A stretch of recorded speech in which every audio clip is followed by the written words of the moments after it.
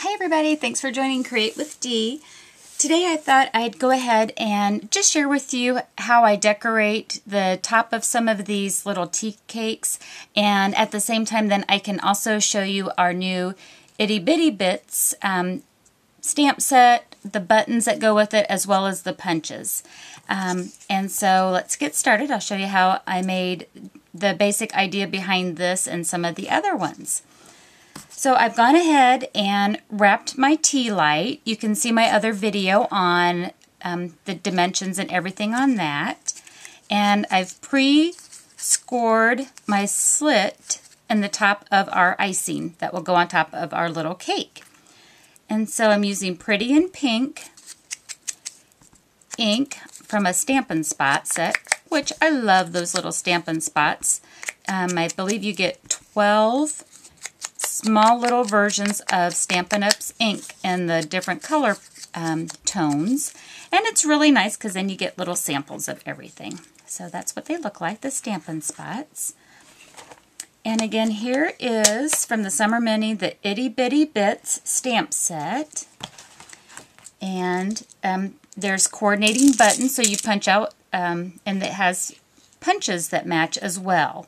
So there's three punches that come in that set. It's a punch pack. So you get a flower, a small circle, and a little kind of crossy looking clover from that. And let's go ahead and I'll use the flower um, punch from that one. Whoops. Holy cow, that went flying. Let's see, let's do three. So I've got three flowers from that and from the buttons that match. Look how that is. Isn't that so cute? Oh my gosh, can't hardly take it. It's so cute. I think this is so clever that there's the punch that matches the shape of the button because that way um, whatever color you have in the background of it is going to um, you know, become the button color. So, you know, maybe you'd want a pattern or you've got something else. So whatever you have going with your card or your project, paper project, you now can have the exact match but button with it. It's so exciting. I think it's such a clever idea. So, so clever. Um, let's see. I also, um, I think I'm going to use some dazzling diamonds, but I need to go and get those. So just one second, I'll be right back. Okay, I'm back, and I have my dazzling diamonds, and I think I'm going to go ahead and just pour them into this, um, oh, the Tupperware container. It's actually like a Ziploc one. It makes it a little easier to work with it. And so I'm going to get started with putting some dazzling diamonds on our project here. And I'll go ahead and just, I think I'll put some, oops, come on, Tombow. There we go.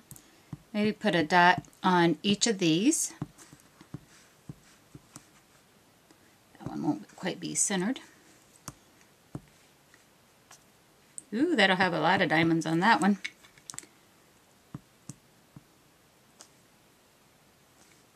There we go.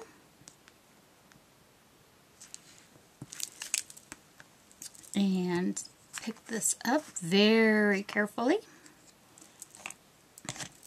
Grab a spoon.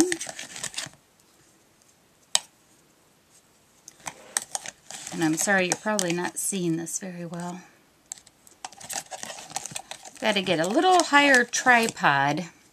It's on my wish list. There we go. That'll get it. Now it's a pretty little cake topper. Look how cute. And Tombow will dry clear. So I'm going to put the buttons on. And uh, let's see, where's my, I need one more. Oh, there it is. It's about ready to have to punch another one. And again, this punch set will go perfectly um, with these buttons when I had seen these, I thought, oh my goodness graciousness, I'm going to have to have these right now. So excited about this. Okay, so those will dry clear. I did the same thing on this one, and you can see where, you know, you can't see any of the glue. Okay, so I think what we'll do now is we'll go ahead and put this, um, the frosting on top of our little cake. Oh my gosh, is that not adorable? I love it. Squish those down and around a little bit. And then the same thing, um, well, I'll take my Tombow and I'm going to try to look at putting this on about third. So kind of try to place my glue dot or the, you know, the Tombow in about a third, a third, a third of the triangle. And put my little covered buttons on here.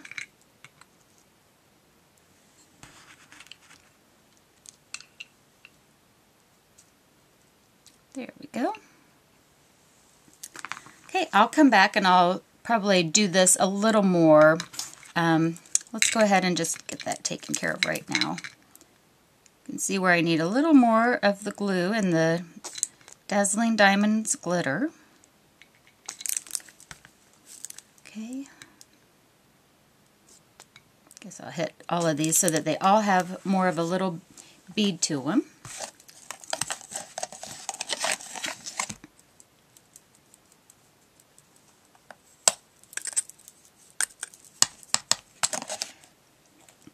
And then I'm going to let this dry completely and I'll take off our little, and then that will be our little birthday cake and it'll have a very similar appearance as that. But that's how you can just go about starting to decorate our little tea light cakes um, and how that the, um, the punches and the buttons for the itty bitty series go together. All right, so hopefully that gives you some ideas, guys. Happy crafting!